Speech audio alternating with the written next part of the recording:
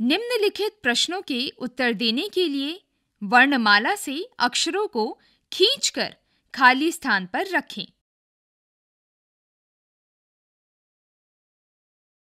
कौन सा महीना जून से पहले आता है?